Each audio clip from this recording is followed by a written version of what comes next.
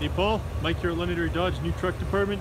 It's a 2015 Ram 1500 Crew Cab Sport Blackout. You have the body color grille, bumper, Sport Performance hood, black wheels, all the badges blacked out as well.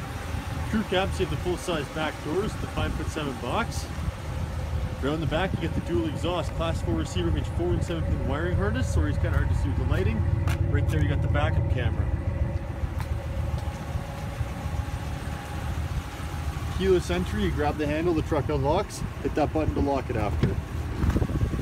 Power adjustable seats, power windows, power locks, power folding mirrors, automatic headlights, power adjust pedals, steering wheel mounted audio controls,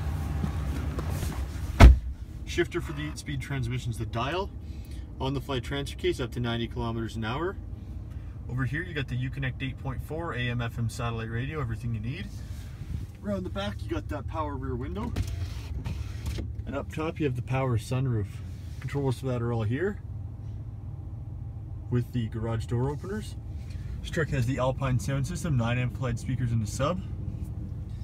Down here you got the uh, heated seats, heated steering wheel, and ventilated seats. Push button start on this side. Inside here you got your heads up display showing your speed, vehicle information, fuel economy, everything you need to know. Controls for that are here on the steering wheel, the voice command and phone button. Gear up, gear down, and cruise control. Just uh, give me a shout when you get this video, 780-473-6388. Let me know if this is the right truck for you. Thanks for watching.